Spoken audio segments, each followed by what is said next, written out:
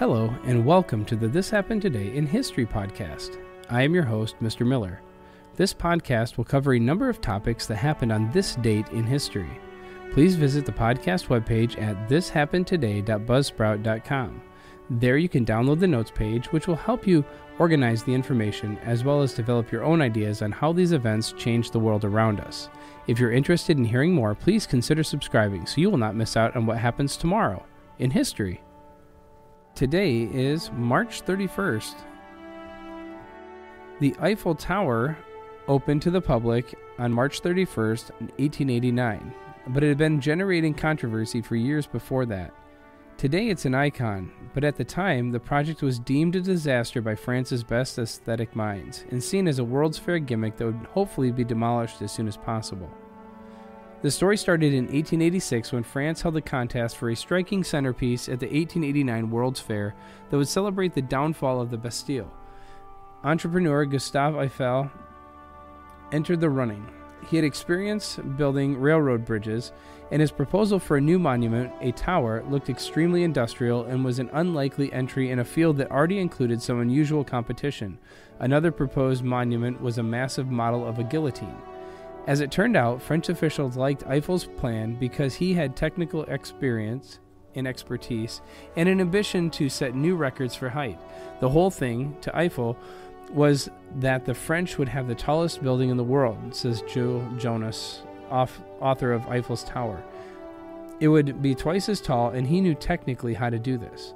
But through Eiffel's Tower plan to set records, it wasn't without controversy. The building was radically industrial, and that chafed against the sensibilities of more refined Parisians.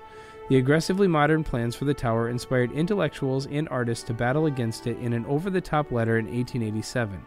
The new building created a clash between France's artistic and industrial voices. As Eiffel's grand experiment dominated the Paris skyline, responses were fierce from French intellectuals and writers. One of the history's most famous short story authors, was unsparing in his early criticism of the Eiffel Tower. The critique from artists was so scathing that Gustave Eiffel himself eventually felt the need to respond. Eiffel's response appeared in Le Temps in 1887, where he tendered an artistic and intellectual defense to his tower. As construction of the tower progressed, it became easier to see the real impact it would make upon the Parisian landscape. Once it was two thirds up, Jonas says, opinions began to come around. By late 1888, it was possible to see the shape of the Eiffel Tower, and excitement for the 1889 World's Fair was building in the city. The tower was finished incredibly quickly. In total, it took two years, two months, and five days to build. Its legacy has lasted much longer. In 1951, the first commercially built U.S. computer, the UNIVAC 1, which stands for the Universal Automatic Computer 1, is sold to the United States Census Bureau costing about $159,000 in US. The Census Bureau continued to use updated versions of Herman Hollerith's 1890 electric counting machine through the 1940 census. Processing and tabulation technology took a great leap forward during World War II, when the War Department, the precursor to the Department of Defense, began to explore the use of electronic digital computers to process ballistic information. After the war, many of that project's engineers foresaw the peacetime benefits of such a device. Computers had the ability to far outstrip the processing speeds of older, non digital counting machines. Their efforts brought the Census Bureau into the computer age. During the ENIAC project, Mauchly met with several Census Bureau officials to discuss non military applications for electronic computing devices. In 1946, with the ENIAC completed, Mauchly and Eckert were able to secure a study contract from the National Bureau of Standards to begin work on a computer designed for use by the Census Bureau. This study, originally scheduled for six months, took about a year to complete. The final result were specifications for the Universal Automatic Computer also known as UNIVAC. UNIVAC was, an effective, was effectively an updated version of the ENIAC. Data could be input using magnetic computer tape and, by the early 1950s, punch cards. It was tabulated using vacuum tubes and state of the art circuits, then either printed out or stored on more magnetic tape. Mauchly and Eckert began building UNIVAC 1 in 1948, and a contract for the machine was signed by the Census Bureau on March 31st of 1951, and a dedication ceremony was held in the June of that year. UNIVAC 1 was soon used to tabulate part of the 1950s population census and the entire 1954 economic census. Throughout the 1950s, UNIVAC also played key role in several monthly economic surveys. The computer excelled at working with the repetitive but intricate mathematics involved in weighing and sampling for these surveys. UNIVAC 1, as the first successful civilian computer, was a key part in the dawn of the computer age. Despite early delays, the UNIVAC program at the Census Bureau was a great success. The Bureau purchased a second UNIVAC 1 machine in the mid 1950s and two UNIVAC 1105 computers for the 1960 census.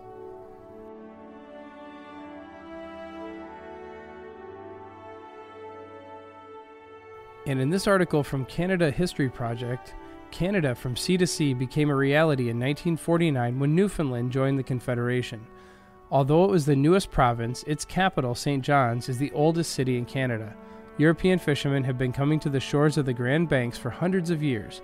Our 10th province had held out a long time.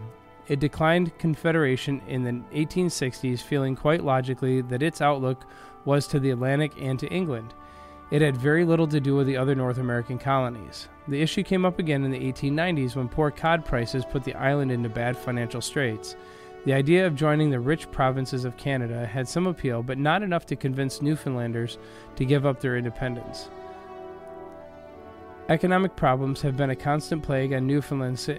In, in the depths of the Depression, it was forced to give its Dominion status and go back to being a colony of Great Britain so that England would cover its debts. After the Second World War, the debate began again. Most people wanted to change the current colonial status, which included government by appointed officials from England, but some wanted a responsible government with economic links to the United States. Others wanted to join Canada. The leading Confederationist was a feisty broadcaster and labor leader, Joey Smallwood. After two plebiscites after two Confederation won by a narrow margin. At the time Newfoundland joined with Canada, the average income there was one third of the Canadian average, and the death rate associated with diseases of poverty was two to three times higher. Smallwood promised reforms, and the new province enjoyed the economic benefits of hydroelectric projects, foreign investment, injections of federal money, and improvements in the educational system. Some of the promised gains were never delivered, though, and not all the changes were welcomed. Modernization took its toll on the unique culture of the outport communities, as Gordon Pinsent portrayed in his film John and the Missus, and economic difficulties continued to beset Canada's 10th province. You have been listening to the This Happened Today in History podcast. I thank you for listening, and I hope that you have enjoyed learning about historical events from the past. Thank you to the following websites for their information regarding today's topics thepeoplehistory.com, Eiffel Tower at vox.com, UNIVAC Computer at thecensus.gov, and Newfoundland Labrador from the Canada History Project.ca. The music used as the background track for this podcast is Americana, created by Kevin MacLeod on Incompetech.com. If you enjoyed this information and would like to hear more, please consider subscribing, as this will keep the historical events in your feed in the morning for each day.